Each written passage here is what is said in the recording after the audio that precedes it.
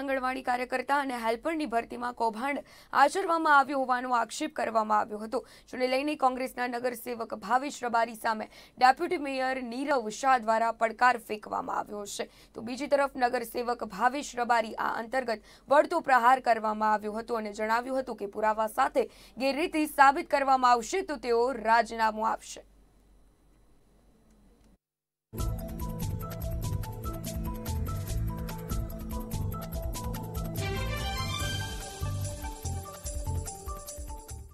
સુરત મહાનગરપાલિકાની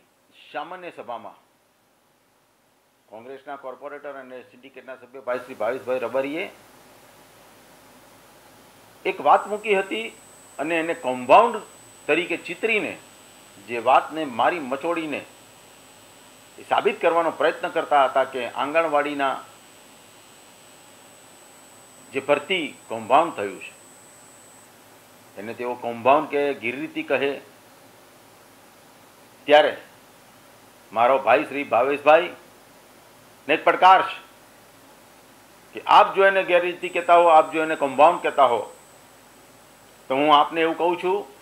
કે આપની પાસે આ પ્રકારના જો કોઈ પણ પ્રકારના દસ્તાવેજી પુરાવા હોય કમ્પાઉન્ડ થયાના દસ્તાવેજી પુરાવા હોય, તો આપ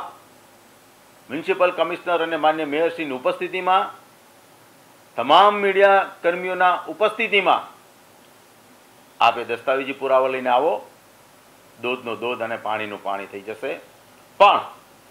ક્યાંક ને ક્યાંક આપના કોઈ પણ પ્રકારનો સંતોષ ન થયો હોય, આપની ભલામણો ન સ્વીકારાઈ હોય, એટલે આને કમ્પાઉન્ડ કહીને ખરાબ રીતે ચિતરવાનો જે પ્રયત્ન થયો છે તે ન થવો જોઈએ તેવી મારી આપ પાસે અપેક્ષા